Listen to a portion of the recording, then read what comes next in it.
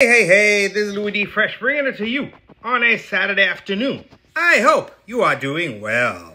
Today, we're going to talk about, um, uh, kind of weird, but this is a topic that I, I never thought I would actually do because um, I, I never had um, this stuff in my fish tanks before, and that is aeration. Aeration or bubbles or, or oxygen or air or whatever you want to call it, put added into a fish tank. I always thought, and it is true, as long as you have, um, what do you call that?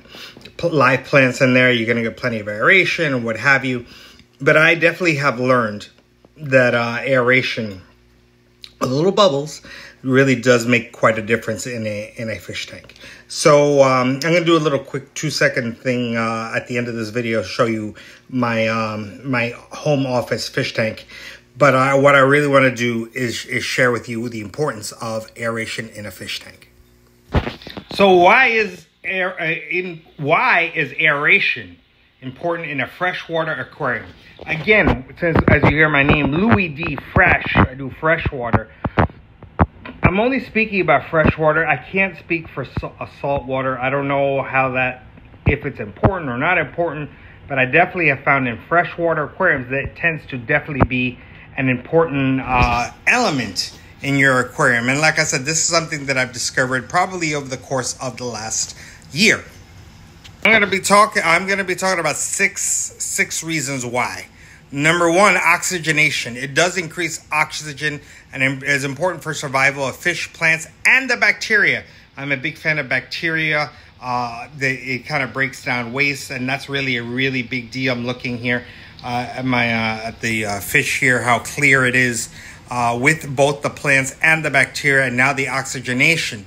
Uh, it definitely does it does make things more vibrant.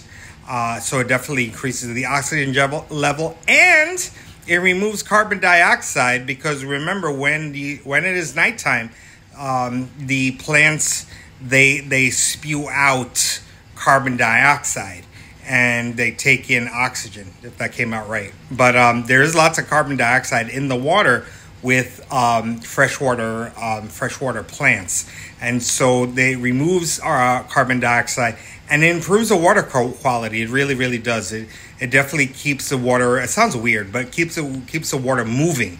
So it increases the oxygen, the gas exchange.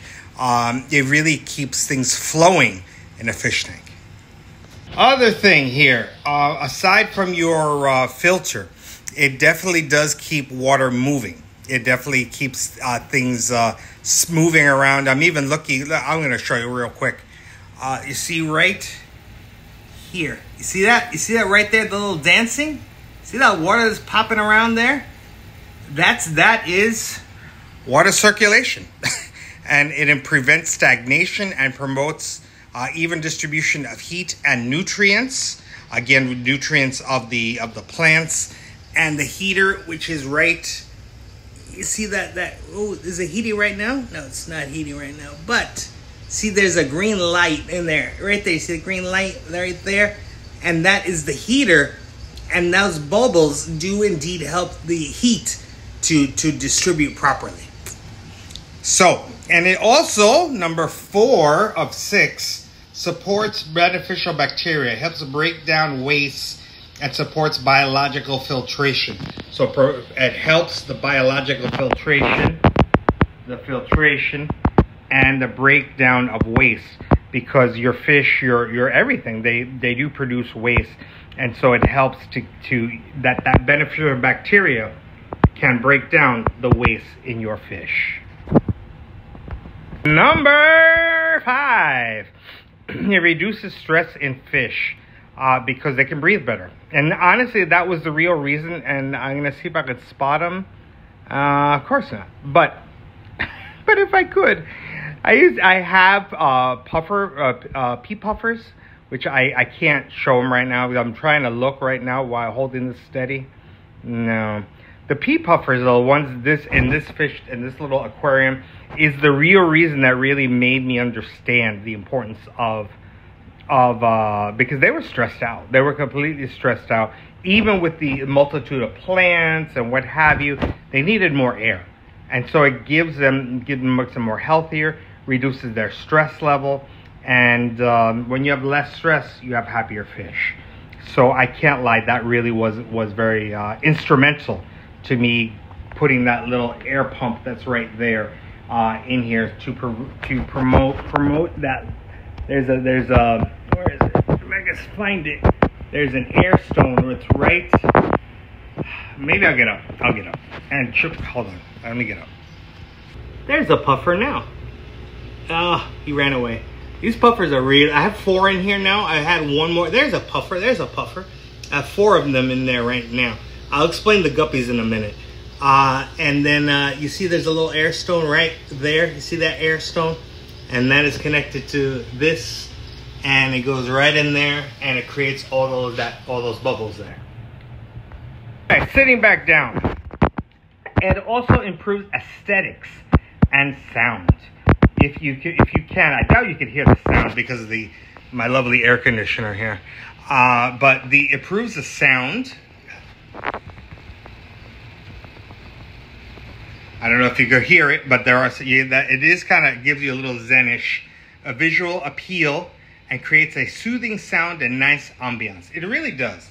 If you look at it like here, right here, that's it creates a nice. You see the bubbles there. Creates definitely creates a nice ambiance along with the filter and the light. I got my Lucky Bamboo, um, and I, I can't lie, it's really, really creates quite a quite a nice feel. So those are six reasons. I'm sure there's more, but I wanted to pick on six reasons on to to kind of the reasoning behind it.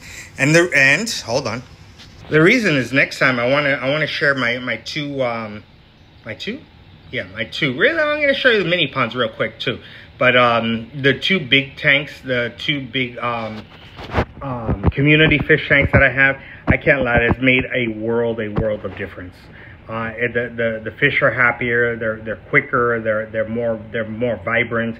The plants are popping better. Uh, keeps everything cleaner. I, I, I I never thought I would say, oh, you need an you need air in there, but you do, you do, you do. And so that's going to be my next video uh, to kind of just show you, especially those, and I show them in mini ponds too, how uh, how pretty they, they really do. Uh, they they they they are when you um, and I'll probably show it to you before I clean the fish tanks because I clean them today. So in two weeks time, clean them again. So before I clean them, I'll, I'll, I'll show them to you. So it'll be very authentic, and you see how how it really makes quite a difference. So this is really in essence part one of aeration. Before I let you go, a uh, quick update here. Uh, as I mentioned, uh, I have four. I can't lie. And because one of my faults is I like to be really, really, really, really, really honest. I had I originally had seven pea puffers in here. Uh, I've had three over the course of a few months or whatever it is uh, jump out uh, because there is no lid and they are jumpers. And that's why now I have this hornwort. You see it around the the tank here. Look on the top there. You see it's it's more it's it's more sealed in on top and and also the air bubbles do help to kind of create like a little field there to say hey don't don't go past that. But i can't lie there was four and for the longest time i would I, truth i could go two three days without seeing any of them. And so what i did it's a win-win. I added some some uh, sort of these these are common guppies and and endler guppies. This and that's an endler guppy right there.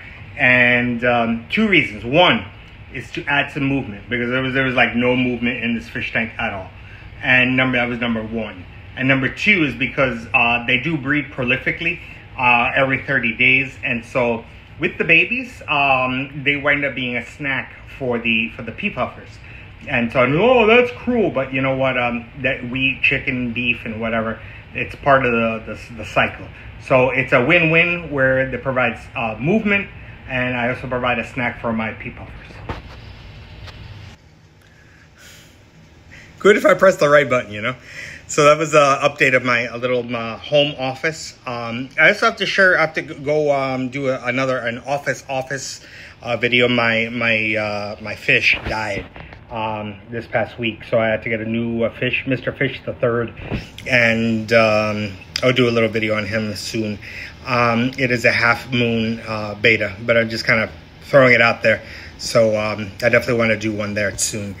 Anyway, I hope you enjoyed it. That's really, in essence, part one of aeration, uh, the importance of it. Um, and I, I, really didn't think I did need it, but I do.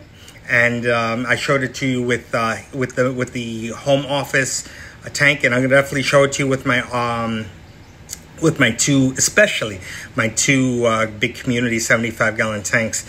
Uh, the importance of it um, because it really does keep it clear, keeps things moving, uh, breaks down the the waste. Uh, doing a little review um, keeps keeps everything uh, just just just more alive. That's what I'm really trying to say. So I hope you enjoy the video, and like I said, I'm always learning. And um, this is Louie D Fresh. Have a great day.